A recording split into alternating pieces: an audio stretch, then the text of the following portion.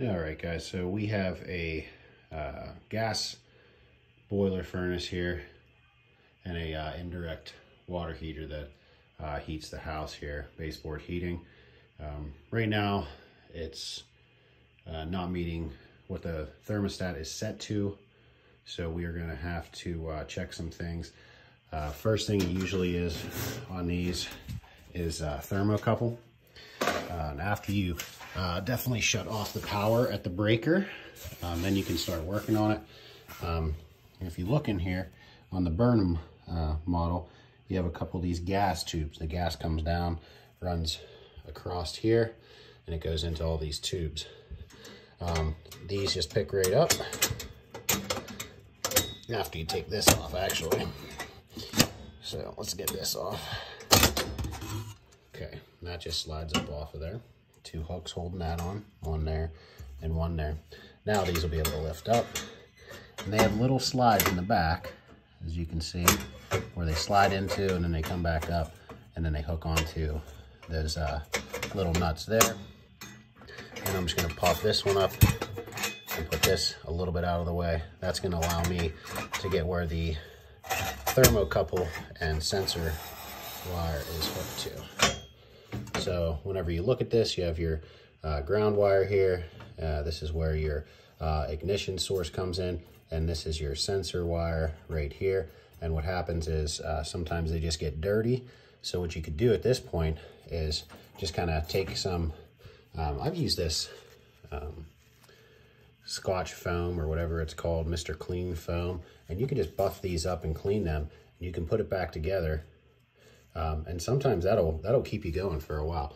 Uh, other times you might have to replace uh, your whole uh, thermocouple um, thing there. So I'm going to show you how to at least just change out a sensor wire. All right, so first thing we're going to do, we're going to take off this right here. We're going to expose that. Let's take a look in there, make sure it looks good. Should uh, appears to be pretty good there. Um, and then you can use a uh, flat screwdriver, hook it on the bottom of this, and turn counterclockwise, and that'll loosen up your uh, sensor rod and we'll slide it out, and I'll show you what that looks like. All right, so we went ahead and removed the other sensor wire. Um, we're gonna put this sensing rod down in there, and now we're ready to put on our little nut here. Hard to do with one hand, bear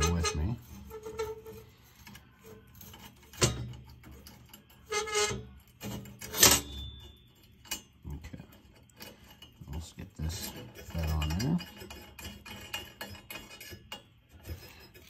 tighten that up.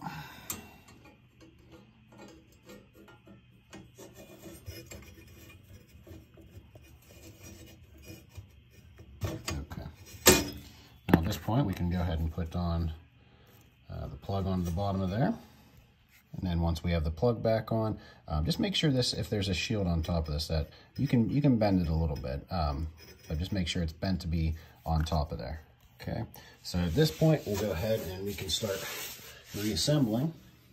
Um, just be careful not to bend your gas line that comes in here uh, too much. Just kind of be nice and careful as you're putting this back in, which I will set the phone here you see.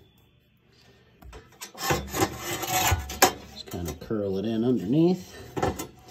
Find that slot at the end of the tube. And once you find that, you slide it in.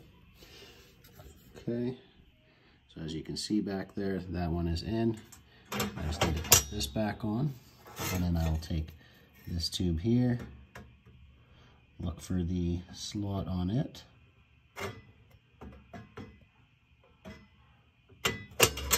It can be tricky to just take your time, put it in.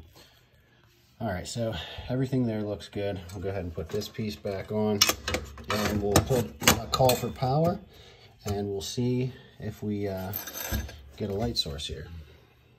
Okay, we're at the breaker. Go ahead and kick that on.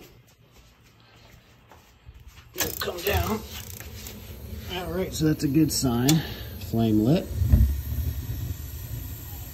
And should start going. There we go. Simple fix, sensor-wide.